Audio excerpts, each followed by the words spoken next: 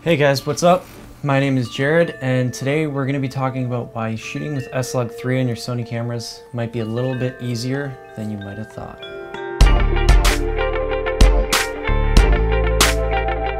Now, all the videos I watched to this date all make S-Log 3 sound pretty intimidating. Same with S-Log 2, but S-Log 3 especially. Now, it's hard for me to try out new things like that with my camera because a lot of the gigs I do are paid, real estate, and stuff like that, corporate shoots. And it's just risky to try something like that. And if I mess the footage up, have to tell my client, yeah, I have to go back.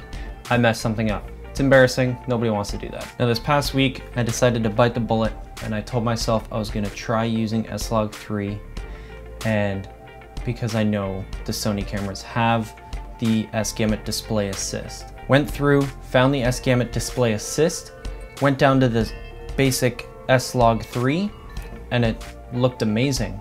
I have tried the S-Log 2 before and it just doesn't look nice. It's hard to still tell what your footage can actually come out like, but the S-Log 3 assist came out amazing.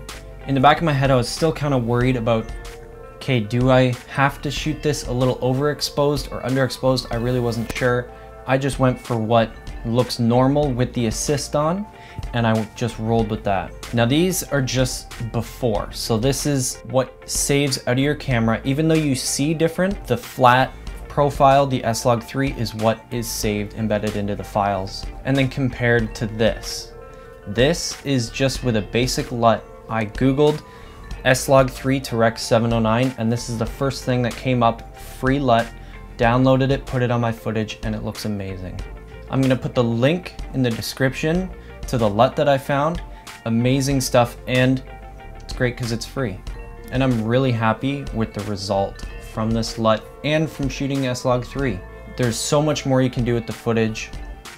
Taking skin tones to exactly where you want it. If a color's too bright in the background, you can pull it down and still keep the quality a lot better compared to shooting with that picture profile one with those colors baked right into the files. Now, if you guys wanna check out any more of my work, I have my website, link in the description, and you can also follow me on Instagram as well, at JarodB33, and I'll catch you guys in the next one.